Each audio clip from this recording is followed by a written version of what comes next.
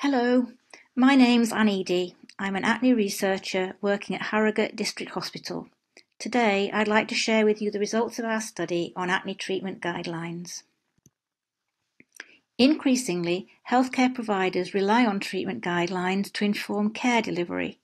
An assumption of trustworthiness is implicit. However, there are different types of guideline, and it's not always easy to identify those which are rigorous, transparent, and bias free. Two previous critical appraisals of acne treatment guidelines, published up to September 2013, found them to be of variable quality. We set out to critically assess the quality of more recently published guidelines. We also sought to determine whether use of a validated tool, commonly referred to as the AGREE II instrument to assist guideline preparation, resulted in improved quality. To identify guidelines published since the earlier appraisals, we conducted thorough searches of bibliographic databases, guideline depositories, and the Internet. Guidelines meeting our inclusion criteria were independently assessed for reporting quality using the AGREE II checklist. We averaged our scores for the six domains of AGREE II and reported them categorically. In addition, two of us assessed each guideline against the criteria of trustworthiness published by the United States Institute of Medicine. We also assessed the number of red flags per guideline indicative of potential bias out of a maximum of six, as described by Jan Lenzer and colleagues. Our searchers identified eight guidelines from three continents. Of these, four were evidence based and had conducted a systematic review. Five were funded by the pharmaceutical industry.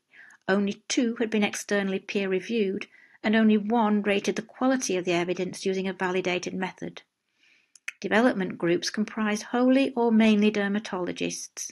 Only one included a patient. Two had used the AGREE II instrument during development, but as we shall see, this didn't have a large effect on guideline quality. In the slide shown, a traffic light system has been used to summarize AGREE II domain scores. Green, depending on the shade, means good or excellent quality. Red indicates poor quality. There were few high scores, just six out of a maximum of 48, and far more intermediate or low ones. The two guidelines shown in italics had used the AGREE II instrument during development. The lowest scoring guideline was from China and the highest scoring from Canada. When each guideline was assessed for trustworthiness, trends were similar. Very few criteria were fully met, as shown by the paucity of green dots. Several guidelines didn't satisfy or didn't address multiple criteria, shown by the numbers of red and orange dots. Overall, the best performing guideline was again the Canadian one. Most revealing of all were Lenzer and colleagues' red flags indicative of potential bias. All of the guidelines raised at least one red flag, and three guidelines raised five out of six. The guidelines which had used the AGREE II instrument during development, shown in italics, raised four and three red flags respectively. When looking at each criterion separately across the eight guidelines, the areas of greatest concern were sponsorship, conflicts of interest, and lack of external review, each of which raised six red flags. Our study has shown that guideline developers consistently overlook the views of patients. This is a serious weakness which we hope will now be urgently addressed. We also found wide variation in rigour of development, transparency, and overall trustworthiness. This raises the issue for all clinicians of which guideline should I follow?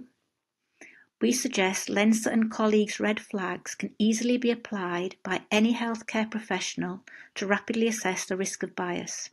However, they don't address methodological weaknesses. In summary, quality assessments of eight recent acne treatment guidelines were universally disappointing.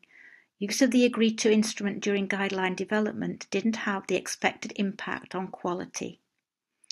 There is considerable room for improvement in all areas in order to increase trustworthiness and minimize the risk of bias. Thank you for listening.